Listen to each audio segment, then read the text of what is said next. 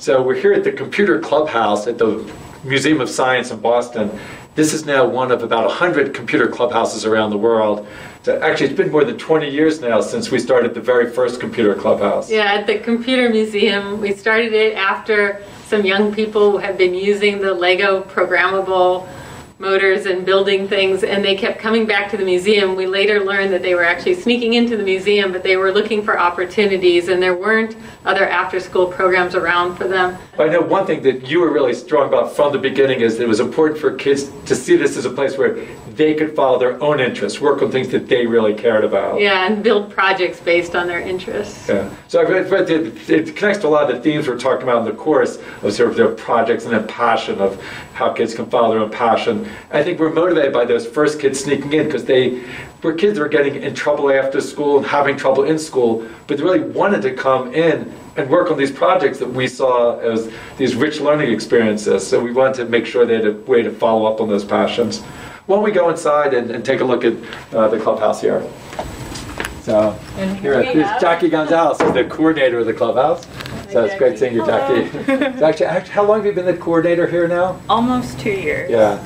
So maybe you can just show us around the clubhouse a little bit, talk about you know the the way the clubhouse is set up. Sure. Um, first, I want to talk a little bit about the space. You'll notice there's a lot of chairs and a green table.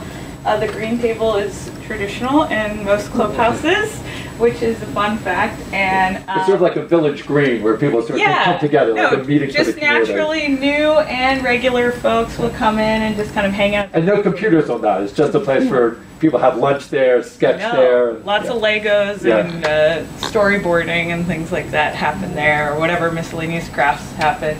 And then you'll notice there's a bunch of chairs. We call it a sea of chairs here.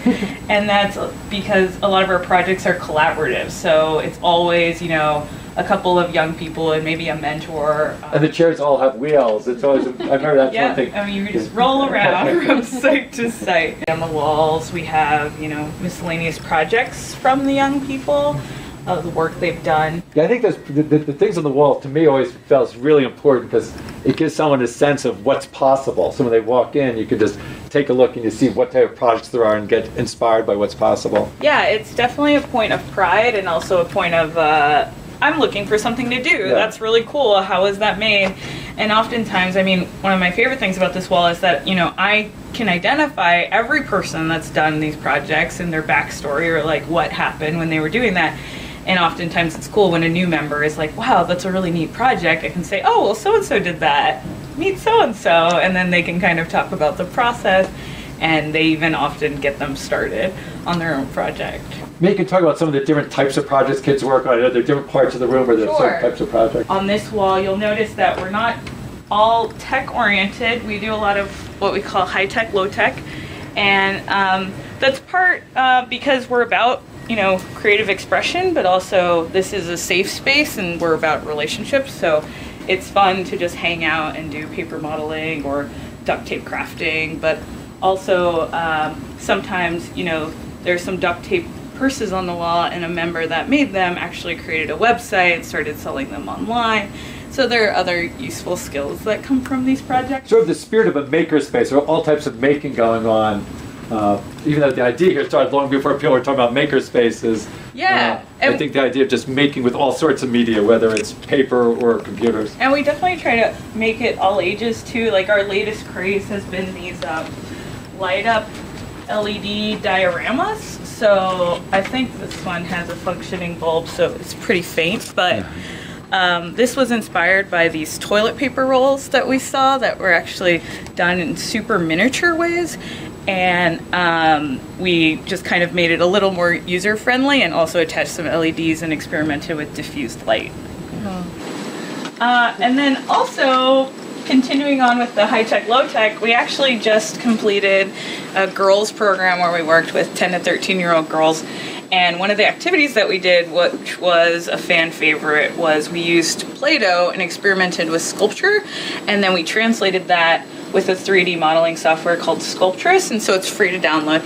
And um, this was made by Katrina, who's 10 years old and she really loved playing with uh, Play-Doh. And actually, a mentor was really skilled in um, 3D animation, so she sat with her and kind of got her started. And she's been making Yodas and Elmos and all sorts of things. And so you can actually, um, you know, Oh, wow. she was able to create these kinds of shapes and she's been doing all sorts of things and you can take those projects and actually 3D print them. So we actually printed a little Elmo head that she created and some of our older members have now been creating some really intense characters. Oh, that's great. Um, so this is kind of our maker corner. Uh, a lot of different things happen here. We have our 3D printer, our sewing machine, a heat press for t-shirt designs, and a vinyl cutter. And then over here we have like Legos and miscellaneous computer parts. And so with our vinyl cutter, a range of projects come out like decals for water bottles or laptops and things like that, either for their friends or for a cause. And then the sewing machine, people make hats or or hem things, or uh, we have recently been experimenting with disassembling stuffed animals and then adding LEDs and rehemming them inside out. So it's kind of a weird but cool project. and then uh, with our 3D printer, uh, the popular thing right now is 3D printed jewelry and cookie cutters. So um, a lot of our members just think it's cool to be able to design something and then print it and actually use it in, in a kitchen or something instead of just like, oh, here's a 3D print I made. We're really trying to think about ways of taking it further and practical uses for our 3D prints. Um, and so we have, they can get kind of, you know, simple shapes or they can get pretty details. So this is an octopus. Um, and so a lot of our members have been experimenting with uh, jewelry making, things like that here. Um, so the music studio is one of the more popular areas of the clubhouse. It's definitely the most utilized. Um, this is definitely a great space for collaboration and um, relationship building.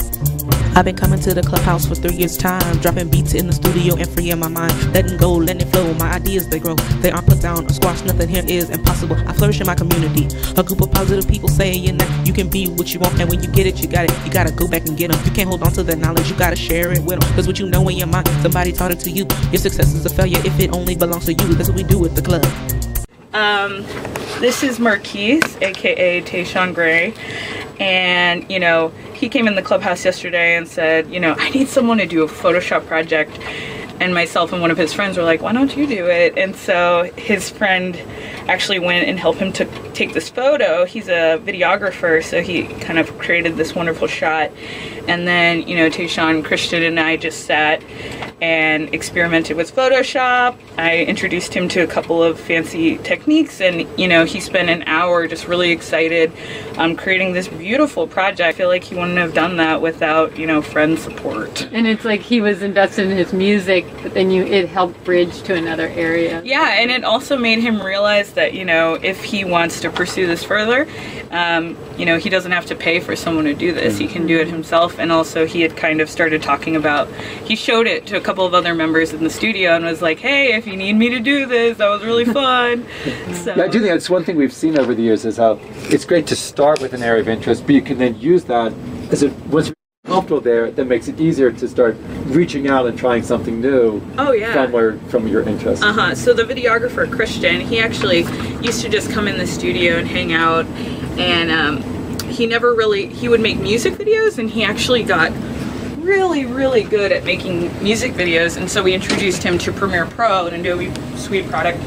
And um, from there, now he's interested in video making. So we've actually paired him with, you know, a few mentors that are interested in video and he's been um, expanding his skills and now he has a demo reel and the museum actually you know offered a, him a position to work part-time like as a freelancer doing video work and so we kind of took that interest of you know helping his friends and doing the music videos and now we've applied it to now his passion is video. I know one thing from the beginning we always talked about it was important to for young people to follow their interests, but we also knew that it was not easy. That sounds easy, you know, but it's not just a matter of saying, okay, go follow your interests. Maybe you can talk a little bit about how you help young people identify their interests, how to follow up on it, because I think that's often a big challenge. I feel like we try to connect the dots. If it's if you're interested in skateboarding, then we'll do a skateboarding video project or a, a Photoshop project, and then through that we introduce them to new things. Um, so long as they're comfortable with something, you know, it can be stuffed animals or butterflies or anything. You can make a scratch project or whatever. So there's lots of instances where they don't come from being passionate about tech, but they realize that here, you know, you can apply, even if you're passionate about your friendships with people, you can make cards or you can make buttons or photo collages, things like that. I know you've done a lot to really help develop and find and support the mentors. Mm-hmm. Yeah, we take great uh, pride in our, I guess, professional development opportunities for our mentors. We try to really provide them with a safe space and sense of learning themselves. Um, and I find that they find it extremely rewarding to come here and learn stuff from the young people.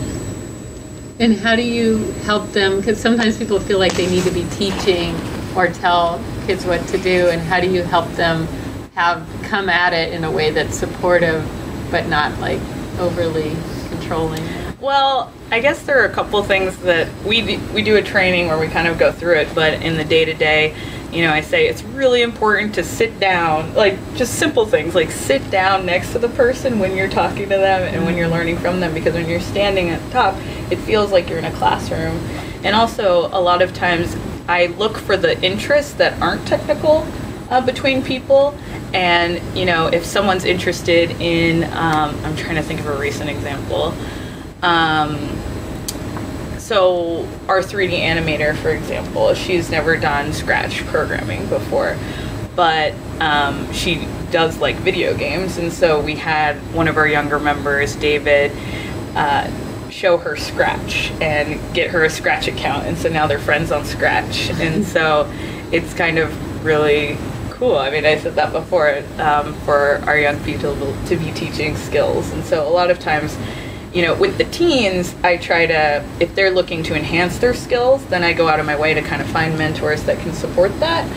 But in general, our volunteers, I usually pair them with people to be taught. And how do you think about your role here? Um, well, I feel like on a good day, I'm kind of just chilling at the table, looking at interesting stuff, or working on my own projects because I, you know, a young person will be like, I need help with Photoshop. I see a teen. We're, we're all about peer to peer learning. Mm-hmm. And so I'll see a teen and say, hey, Qua, like, help so and so with digital design. And, you know, this is just this community of shared learning. And so that everyone kind of comes in with this expectation that they're willing to help people, they want to help other people learn too. And so a lot a good day is just me getting our young people to help other young people and our mentors to be learning from the young people so it's just kind of me watching and, and making sure that those kind of pairings are happening